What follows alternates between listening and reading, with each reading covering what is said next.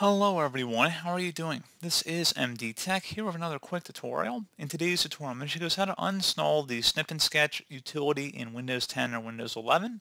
So in Windows 11 at least, they've already updated the snipping tool. Now it's still a snipping tool, but they've kind of have mashed the snip and sketch and the snipping tool together.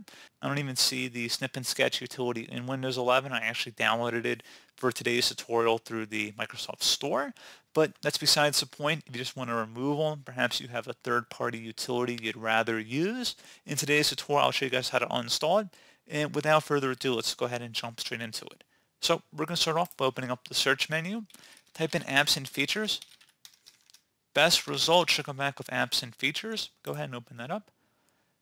In the apps list field, you want to type in snip. And best match should come back with snipping tool. It's funny enough because when I download it through the Microsoft Store, it shows as snip and sketch. And if I were to actually open up the Microsoft Store here, uh, briefly deviating from this tutorial, but not, not necessarily, I'm just going to type in snip and sketch.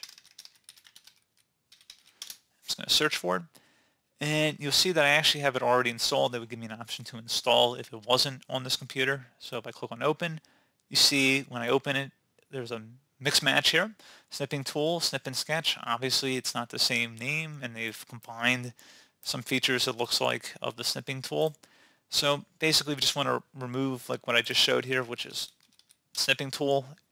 I know it's a little confusing here, but this is what we're actually uninstalling just so that you're aware. But anyway, we're going to go ahead and close out of here. It still shows up as a snipping tool for whatever reason, even though I just installed it. This I'd actually uninstalled this before I installed the snip and sketch tool I just showed in the Microsoft Store. And then when I installed the app in the Microsoft Store, again, it shows up under the apps list here as snipping tool, which is just kind of strange to me.